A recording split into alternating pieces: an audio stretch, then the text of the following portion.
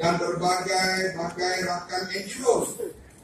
Akhirnya pada 16 September lahirlah parti baru yaitu Parti Amanah Negara. Sokongan kepada semua rakyat khasnya orang lain Putra karena setakat yang lalu kita diperuntukkan bertani di kawasan majoriti Melayu dan sedikit saja di tempat campuran. Kalau tempat campuran seperti di Selangor memanglah kami mudah mencapai kemenangan. Saya kemenangan di Budi di Kota Raja sampai tak nak bilang majoriti. Ya kita mengisi berbagai jawatan. Ada yang dapat, ada yang tak dapat. Apakah dengan memegang jawatan itu dia melambangkan kekuatan parti?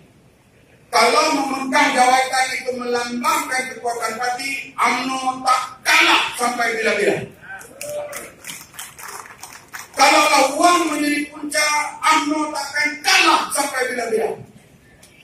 Jadi agama yang semakin meruncing dalam negara yang berbilang kaum, agama dan budaya ini, maka kelainan parti amanah apa yang kita percaya melalui kitab suci kita Al-Quran dan hadis Nabi Sallallahu Alaihi Wasallam.